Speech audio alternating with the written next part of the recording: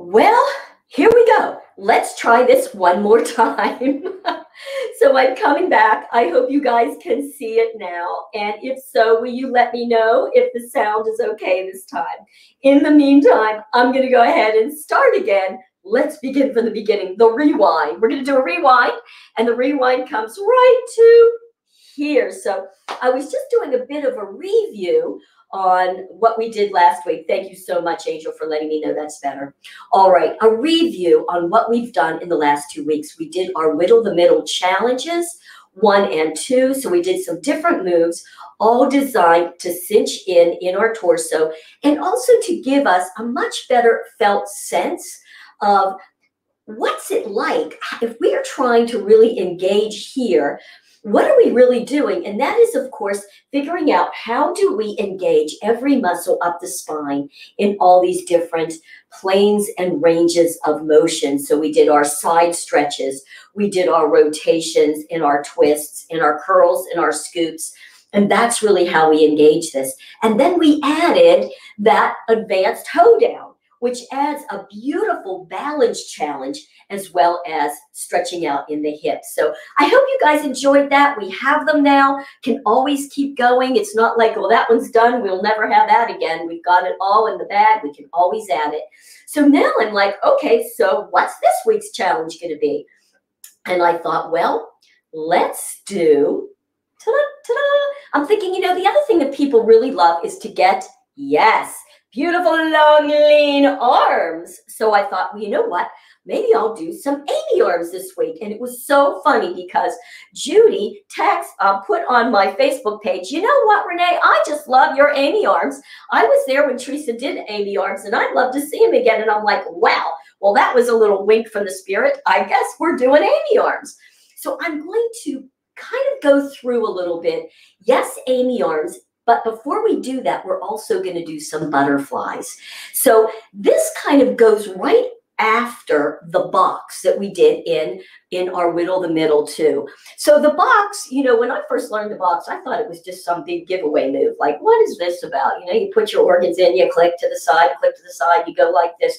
Well now we all know oh no no amy arms i mean a box is very specific and it's intense and then at the end of the box Teresa, especially in her more fascia fitness work, did a lot of arm work that was just so intense. And then at the end, she added Amy arms.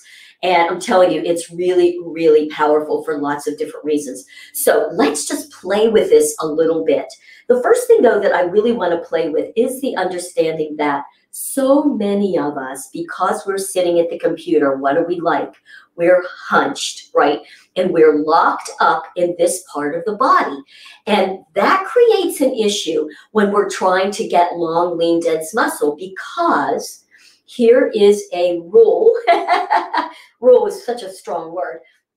You can't really strengthen muscles when you're locked up and the fascia is just locked. Okay. We've got to unlock everything before we can actually get into the muscle to lengthen and strengthen. All right. So the butterflies and some of the other things I'm going to talk to you about right now are really designed to help you unlock in that mid back so that then when you go to do the Amy arms and the butterflies, you're really going to get great results. All right. So this is going to be one of the most powerful things you can do to feel so much better. All right. So let's just talk about it for a minute.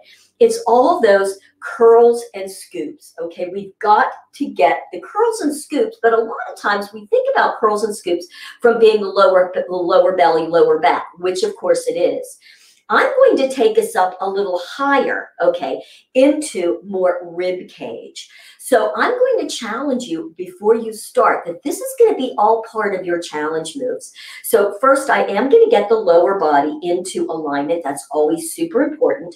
So of course, feet, as we know, the four fingers from the heel, parallel feet on the side, which makes it about three fingers from the big toe ball joint. So feeling very pigeon toed with our knee bend, our tail down, shift back.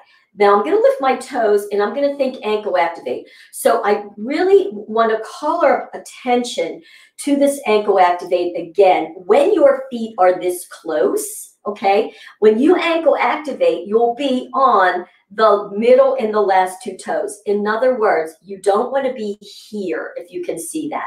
All you're going to do is feel that in your ankles and shins. So it's bend, tuck, lifting ribs, shifting back. You can lift the toes.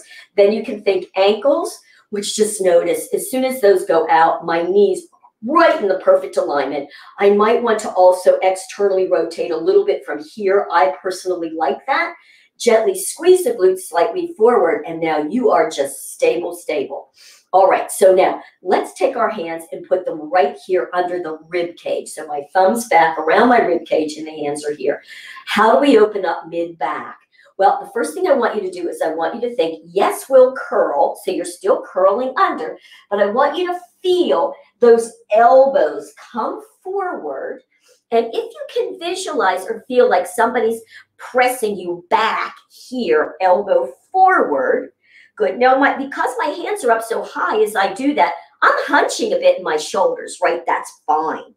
Then you want to think, arch out. So I'm going to arch my tail as well, but I'm really thinking with my thumb in the back, I'm pressing my rib cage forward. Then I'm going to, with the fingers in the front, pressing back, I'm going to press back. Can you see how much, how rounded my mid back is there? And then I'm going to arch and press back and arch and press back. So you can see how this is going to begin to really open you up in your upper back and shoulders. This is going to be really critical to help you feel better and look better. And just make sure that you don't get those frozen shoulders that we get when we're like here, just not moving. Now, we did it from here. Now you can also do it from here. So just curl under and open. You can curl and open. Can you see what I'm doing with my hand? I'm actually turning back, but keeping the elbows there and open. So I want you to really feel this week your challenge. Yes, we'll have more challenge moves, but biggest thing is I want you to really start to open up in that mid upper back. It will be huge for you. All right, so the next thing I want to talk about as we're getting into it are our hands. Now, most of you that follow me and follow T-Tapp know the hand positions, but I want to go over it because there might be some new people and I want to stress it again. Mitten hands, huge, okay?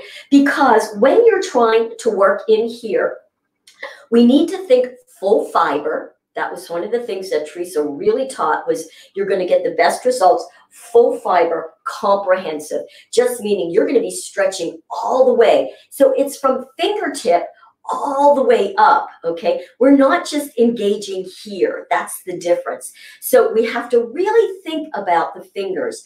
Fingers are the end points, okay?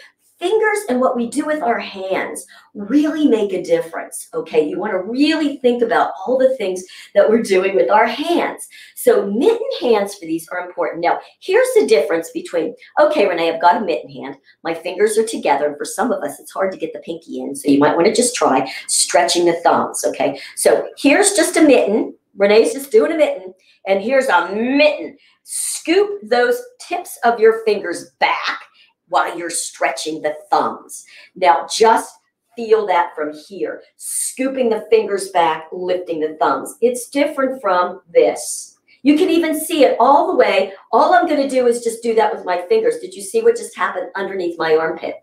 Yeah, just doing that. Why? Because it's all connected. Okay, so you really want to do that with your mittens. Now, bear claw is not this a lot of people still feel like we need to press forward. No, you're seeing my knuckles right at the front knuckle. I'm just doing a little bend and then I'm pulling them back. It looks like this, like, like a bear claw. Okay, you can even just think bear claw. And that's how you're going to get it. That you'll feel that all the way up the arm. So the hand positions are important. All right, we're going to get ourselves back in position. And I want to begin by doing a few butterfly moves. Okay, that will get us into this good position. So I'm going to step back for a sec. Four fingers, bend the knees again, tailbone down, ribs are up. I'm shifting back. I'm going to think ankle activate, squeeze my glutes. Hand, hand. Good. Now I'm going to think all the way down. So as I'm here, this is why it's so important to really get up into that upper back. Okay. So now my fingernails are pressing back. I've got a strong scooped mitten. I'm stretching my thumbs up. Now I'm going to rotate all the way back. Now, here's something else that I want to mention. Sometimes I see people, now watch the difference, just roll back, but what they're rolling back are just the hands at the wrist. Because that's what we say, roll your thumbs back, right? And that's okay. You're getting there. But I want you to see the difference when the roll initiates from the hand, but you're really rolling the whole shoulder back. So stretching out. Now notice what I just did with my chin. I'm tucked back a little. I'm lifting from the top. It's really important you watch what you do with your head on this. So now scooping the mitten, stretching it up. I'm going to not just turn the thumbs, I'm going to rotate my entire arm and shoulder back and reach. Okay, difference. Here's just the hand. Here's the shoulder back and stretch it out. Little butterflies. So on my little butterflies, I'm continuing to roll not just the hand, but the entire arm and shoulder and just go. Go slow for the first couple.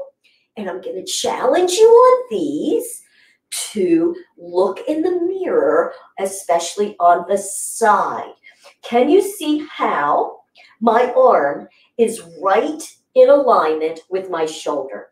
A lot of us press back. We do this. Can you see that? It's not the same and it can not be good. Actually, it can feel not so wonderful, but it will, you'll think you're doing it right because you'll feel a stretch across here, but it's not in alignment. So once you do a few of these, good work. Take it down a little bit lower. And as you lift, lift the girls and then bring it to here. Now, bringing it back is not like a throwaway. Okay, I'll bring it back. All right, I'm going to get my ribs up. I'm going to release my ribs and bring it to here. I'm going to lift my ribs up. No, no, no, no.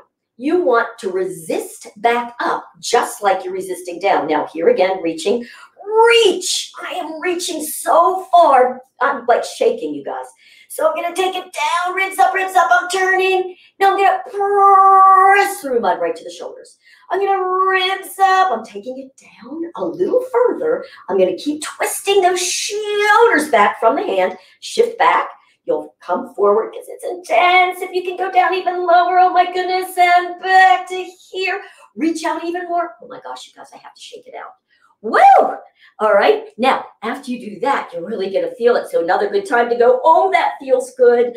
And arch. And oh, that feels so good. And shake it out. Boy, you're going to feel it even up on the top of the arms. How beautiful is that? All right. Now, we're going to go into now, after you do a bunch of those and really feel it, let's go right into some Amy arms. So for those of you that don't know what this is, it's simple to remember, not so easy to do right. So let's get back in. Faux fingers, bend the knees, tail hook, reach up, shift back, ankle activate, squish glutes, press forward, yeah, yeah, yeah, yeah, yeah. Let's bring it straight out again. Good work. Now we're going to do a strong bear claw. You ready? Bend those fingers just at the knuckle, pull the knuckles back, stretch those arms out. Let's do an inhale and a hunch. Now I'm lifting my shoulders up, but I'm really trying to get my rib cage up as high as I can. Then I'm going to think shoulders back just a little, and I'm just going to think, I'm going to slide my shoulder blades down my back, keep the girls out, and stretch up even more. Out to the side, shifting back. Now, lift the arms a little above the shoulder. Keep pulling the knuckles back. Then you're just going to go ribs up, just to the shoulder. Stop. Release. Ribs up, stop at the shoulder. Release. Ribs up, stop at the shoulder. Release. Think shoulder blades down, ribs up. Stop at the shoulder. Let's do two more. Press the knuckles back. Back up. Stretch your thumbs. Back up. Oh my goodness, that's hard. Let's just come to the shoulder. Now, you're going to roll, roll, roll. Now, again, I can just roll my hands or I can roll the whole shoulder under. Do you see that? Lift up, ribs up. Stretch out, ribs up. Keep twisting those thumbs back.